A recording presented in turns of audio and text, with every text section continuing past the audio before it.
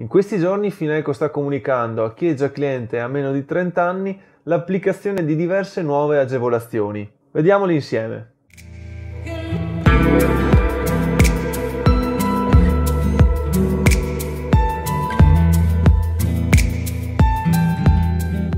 Ciao, io sono Federico e benvenuti in The New Finance. Fineco si è fatta conoscere come banca per la miglior piattaforma home banking e la miglior applicazione smartphone d'Italia. Inoltre per diversi anni ha avuto un conto a canone zero con diverse funzionalità gratuite. Nel 2019 ha introdotto però un canone anche per chi era già cliente. Canone azzerabile sì, ma che ha fatto storcere il naso a chi da anni era cliente Fineco. Ma il vero trauma non è stato il canone introdotto nel 2019, bensì la variazione che si è avuta nel 2015 precisamente ad ottobre. Difatti chi ha aperto il conto dopo ottobre 2015 si è visto applicare un tariffario per la compravendita di strumenti finanziari davvero costoso. Prima dell'ottobre 2015 per acquistare un'azione, un'obbligazione o un ETF si pagava una commissione per millare, lo 0,19% del controvalore dell'operazione, partendo da un minimo di 2,95 euro fino ad un massimo di 19 euro.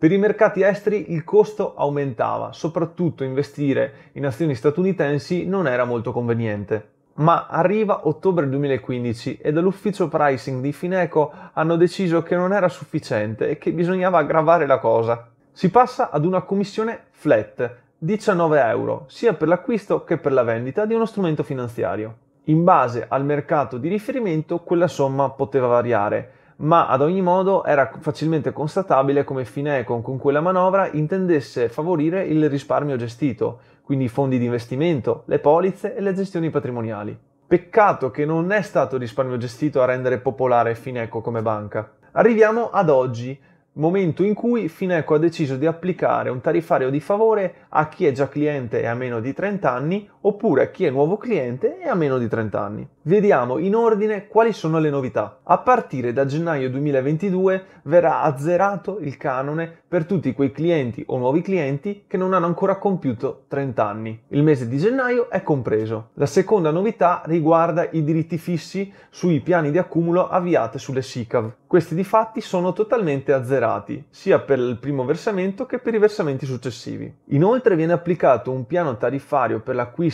e la vendita di strumenti finanziari notevolmente favorevole, 2,95 euro per qualsiasi piazza europea, o meglio per quelle indicate nell'immagine che vedete, 3,95 dollari per mercati americani e 10 dollari canadesi per il mercato canadese. Non so chi di voi sia interessato effettivamente a investire in Canada, ma lo può fare. Attenzione, come ho già detto, queste variazioni riguardano solo quei clienti che non hanno ancora compiuto 30 anni. Inoltre l'azzeramento dei diritti fissi sembra riguardare esclusivamente le SICAV, i piani di accumulo avviati sulle SICAV. Quindi questo non riguarda i classici fondi di investimento. Spesso questa distinzione non la si conosce. SICAV o fondo di investimento è uguale, no? In realtà no. Sono due cose simili ma diverse. Nelle SICAV l'investitore acquista azioni della società. Nel fondo di investimento invece acquista le quote, ma magari lo vedremo in un altro video. Per chi ha almeno 30 anni invece rimane in vigore il precedente piano tariffario che ahimè è piuttosto penalizzante. Una commissione flat che premia chi opera frequentemente con Fineco. Ma anche lì non ne capisco la logica